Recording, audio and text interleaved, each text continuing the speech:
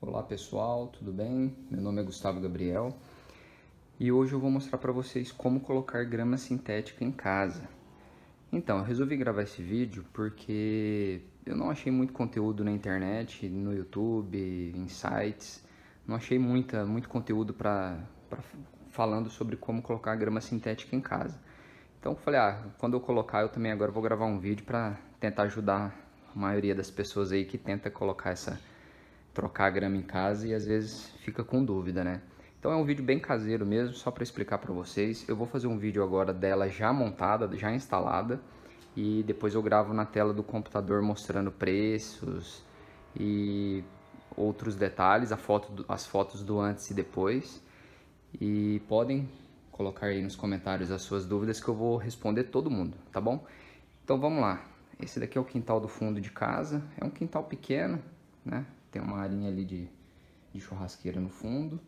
E essa grama aqui era uma grama esmeralda e é, é são 20 metros quadrados, né?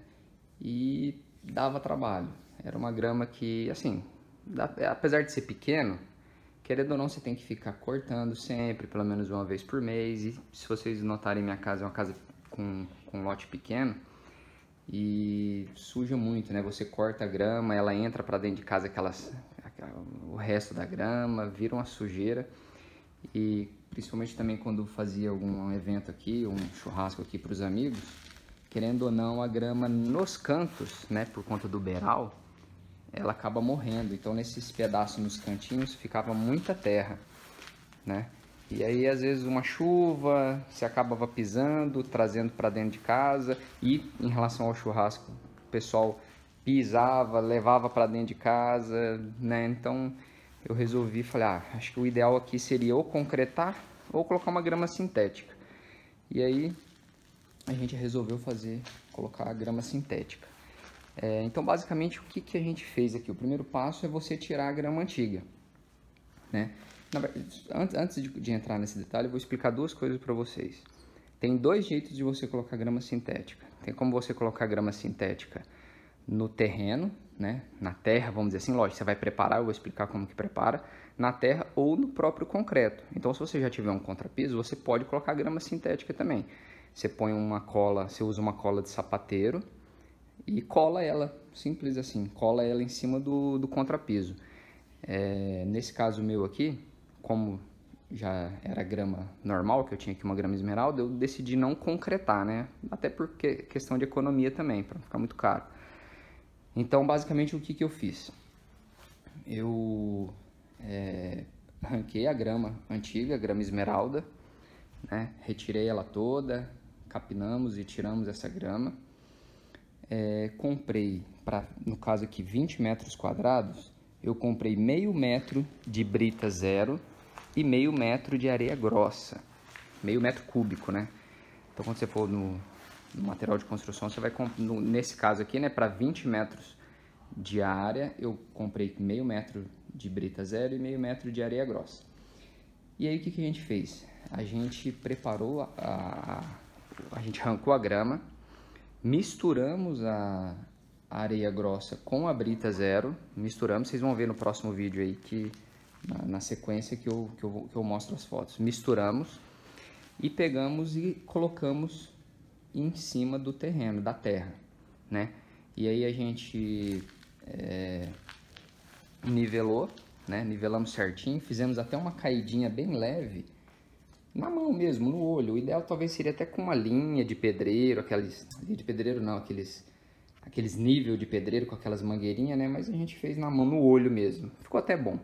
Então a gente fez uma caída para cá, para o ralo, para na, na hora da chuva a água escorrer para cá. Apesar que a grama é, ela não é impermeável, então é permeável. Ela entra, entra água, infiltra água nela. Só que lógico, não é igual uma grama normal, ela não infiltra tanto. Se você vê na hora da chuva aqui, às vezes você vai ver algumas pocinhas, mas logo para a chuva ela acaba de infiltrar. Então, de qualquer jeito, é bom jogar para o ralo também para não virar uma poça grande, né? Agora, se você colocar em cima do contrapiso, né, do concreto, aí sim, aí tem que ter uma caída boa, porque senão ela não vai infiltrar. Então, a gente nivelou com areia grossa, a mistura de areia grossa com brita zero. nivelamos bem e aí bem simples, pessoal. O, o, a grama sintética ela vem em rolos, em rolos, né? Aí depende do jeito que você for comprar. Nesse caso aqui eu comprei, veio três rolos de 2 metros. Aqui a gente tem uma largura de 5 metros e 80. Então ela vem em três, três rolos de 2 metros. Então eu coloquei 2 metros ali no canto, 2 metros aqui no meio. E aqui no canto eu tive que cortar uma fita, né? Tive que cortar um pedaço que até tem umas pedrinhas aí que caiu. Inclusive isso é um detalhe importante. Depois que você coloca grama sintética, aparece entre aspas sujeira. Tá vendo? Isso aqui veio do, com certeza ali do telhado ali, que deve ter alguma massinha, alguma coisa ali, sobrou de resto de construção. E aparece muita sujeira, você acaba vendo mais, né? Quando não tem, você, a sujeira mistura com a, com a grama aqui, você nem vê. Então no, no, no canto aqui eu cortei, você corta com a tesoura mesmo, olha que é bem simples. Eu vou mostrar depois no vídeo como que faz. Mas é bem tranquilo mesmo. Tá vendo lá atrás, ó, lá embaixo? Deixa eu aproximar aqui, que tem uma mistura lá de brita com areia grossa, tá vendo? Aí você corta com a tesoura, é bem simples. E para fixar, como que você fixa? Que você não vai ficar solto, né? Senão você pode vir aqui às vezes e tropeçar. Tá vendo a emenda como que é aqui, ó? ó olha como que é a emenda. Ela vem um pouco de lona sobrando. Então eu fiz assim, né? Eu deixei um pouco de lona desse lado desse lado aqui e cortei desse lado aqui com a tesoura. Aí eu sobrepus, entendeu? Para ficar bem rentinho, quase que imperceptível. Aqui tá um pouco perceptível porque eu forcei com a mão para mostrar para vocês, mas depois eu vou vir aqui, você vem com uma régua aqui, ó, puxa a grama desse lado e fixa assim, mistura um pouco da grama aqui assim, que ela fique perfeita. Ah, Gustavo, como que faz para fixar ela? Você compra grampos. É grampo, parece um grampo de cabelo. Olha lá. Tá vendo? Só que grande. formato do meu dedo aqui, ó. Desse jeito assim. Com o martelo você bate, como lá embaixo é terra, né? Você fixa. Se for no contrapiso, você tem que comprar cola de sapateiro, passar cola de sapateiro aqui atrás e colar no contrapiso, né? No concreto. Então é bem simples. Esses grampos aqui, eu coloquei vários Aqui eu puxei só para mostrar para vocês, depois eu vou voltar ele aqui, mas vocês veem que não tem diferença, vocês nem conseguem ver onde está a emenda. E as vantagens são inúmeras, né, pessoal? É, limpeza, principalmente limpeza, igual eu tô andando aqui, ó. Eu sei que eu vou entrar lá para dentro de casa e não vai estar tá sujo, não vou levar sujeira. Eu, é, a gente é casado, não tem filhos e não tem cachorros. Mas para quem tem filhos ou tem um cachorrinho, um pet, é isso aqui é sensacional. Acho que fica muito mais limpo. Eu imagino se eu tivesse um cachorrinho na época que eu tinha grama esmeralda. Vira uma cavucação, leva a terra para dentro de casa, cavuca. É, então, em relação à sujeira, é sensacional, é muito top mesmo. E estética, né, pessoal? Olha só para você ver, você vai ter grama verde pro resto da vida, o resto do ano. Não vai ter aquelas épocas igual eu tinha época de chuva, ficava massa, ficava verdinho, eu cortava e depois na época da seca ficava branco, branco, branco. Ninguém vence ficar aguando, a conta de água vem muito alta e mesmo assim parece que é engraçado. Você pode molhar com, com mangueira, com, com água da rua, que não fica a mesma coisa de chuva. E tirando ainda que nos cantinhos morre tudo.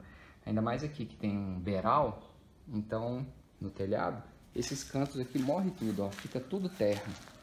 Tudo terra.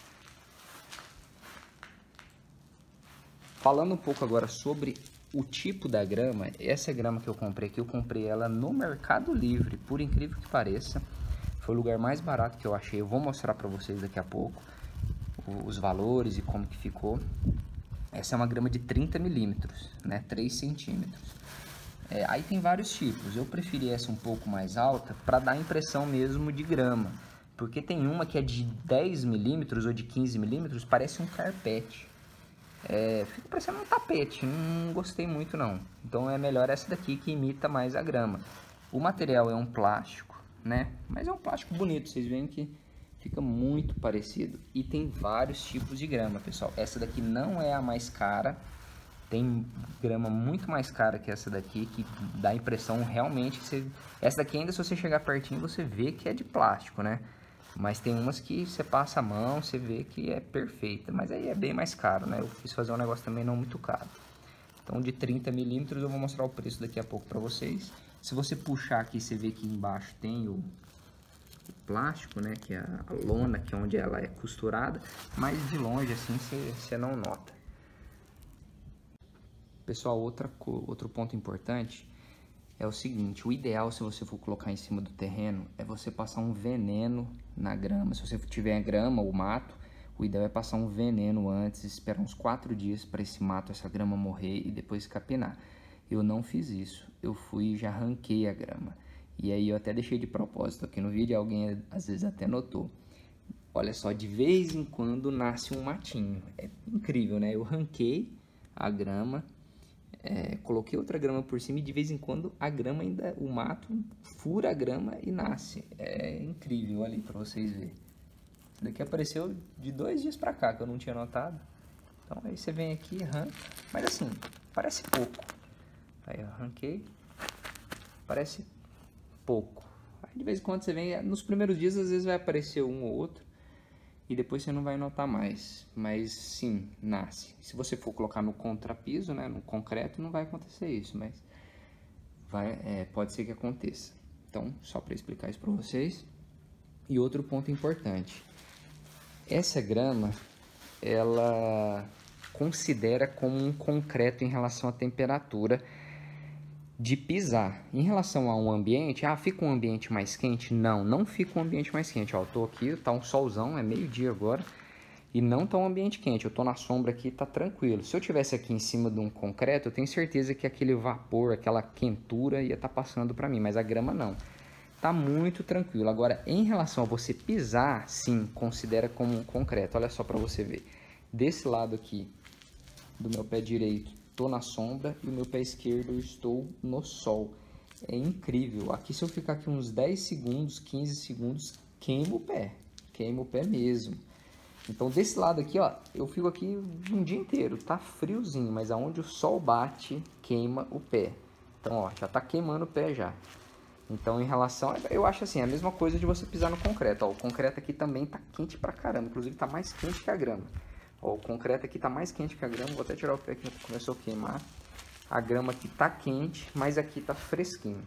Então, só para tirar essa dúvida aí de vocês.